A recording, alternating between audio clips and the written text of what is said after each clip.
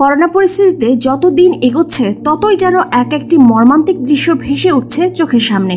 এই ভিডিওতে আমরা দেখব সোশ্যাল মিডিয়ায় ভাইরাল হওয়া এমন দুইটি হৃদয় বিদারক দৃশ্য যা দেখে আপনার চোখে পানি চলে আসবে। প্রথম ঘটনাটি চীনের। সাত বছরের একটি মংরেল কুকুর নাম জিয়া বাও চীনের এক হাসপাতালে প্রথমবার তাকে দেখা যায় ফেব্রুয়ারি নাগাদ। তারপর থেকে তাকে সেখানে প্রায় টানা তিন মাস বসে থাকতে দেখেন হাসপাতালের কর্মীরা। অনেক চেষ্টা করা হয় তাকে সেখান থেকে সরানোর। কিন্তু ফের সে এসে বসে থাকে হাসপাতালের ভেতরে। আসলে জিয়া বাওয়ের মালিক করোনা ভাইরাসে আক্রান্ত হয়ে ওই হাসপাতালে ভর্তি হন। তারপর থেকেই তার ঘরে ফেরার অপেক্ষায় বসেছিল সে। মধ্য চীনের হুবেই প্রদেশে উহান তাইকাং হাসপাতালে করোনায় আক্রান্ত হয়ে ভর্তি হন ওই ব্যক্তি। তার পোষ্যটি তারপর হাসপাতালে উপস্থিত হয়। অপেক্ষা করতে থাকে কবে ফিরবেন তিনি। কিন্তু ভর্তি হওয়ার পাঁচ দিন পরেই মারা যান ওই ব্যক্তি। জিয়াবাও তার মালিকের মৃত্যুর পরেও অপেক্ষা করতে থাকে তার ফেরার। কিছুদিন পর হাসপাতালের কর্মীরা তাকে সেখান থেকে সরিয়ে নিয়ে যান, দূরে রেখে আসেন। কিন্তু সব চেষ্টাই বৃথা। ফের হাসপাতালে ঢুকে পড়ে জিয়াবাও। হাসপাতালের কর্মীরাও তার মনের কষ্ট বুঝতে পারেন, যতটা সম্ভব তার খাবারের ব্যবস্থা করেন। কিন্তু সেই সময় একটি কুকুরের দিকে নজর দেওয়া তাদের পক্ষেও সম্ভব ছিল না। এই করে প্রায় তিন মাস কেটে যায়। এরপর আস্তে আস্তে স্বাভাবিক হতে শুরু করে চীনের পরিস্থিতি। হাসপাতালের কাছে সুপারমার্কেটটিও খোলে। তখন সুপারমার্কেট থেকে তার খাবারের ব্যবস্থা করা হয়। সুপারমার্কেটের মালিক জিয়া বাওয়ের কাহিনী শোনেন। তিনিও জিয়ারের সাথে বন্ধুত্ব করেন।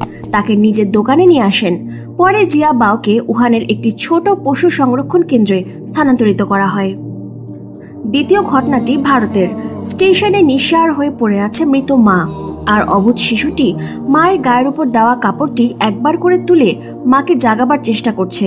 আর পরক্ষণেই মাকে আবার সেই কাপড় দিয়ে ঢেকে দিচ্ছে। বছর দেরিকে শিশুটি বুঝতেও পারছে না, কি হারালো সে।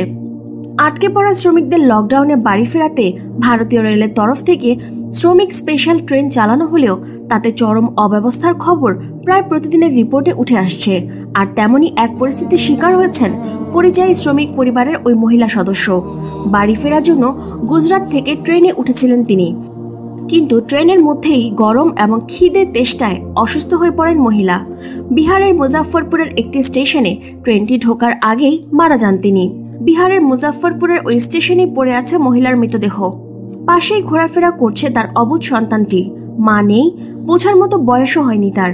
সে ভাবছে, মা বুঝি ঘুমোচ্ছে। এই আরেকটু পরেই হয়তো মা উঠে কোলে তুলে নেবে তাকে। গত সোমবার পরিযায়ী শ্রমিকদের নিয়ে একটি বিশেষ ট্রেন ওই স্টেশনে পৌঁছালে সেখানেই নামানো হয় মহিলার দেহ। এখানেই শেষ নয়। ওই একই স্টেশনে দু বছরের একটি শিশুও মারা গেছে। শিশুটির পরিবার রবিবার দিল্লি থেকে বিশেষ ট্রেনে বাড়ি ফেরার জন্য ওঠে। কিন্তু খাবারের অভাবে ও অসহ্য গরমে মারা যায় শিশুটি।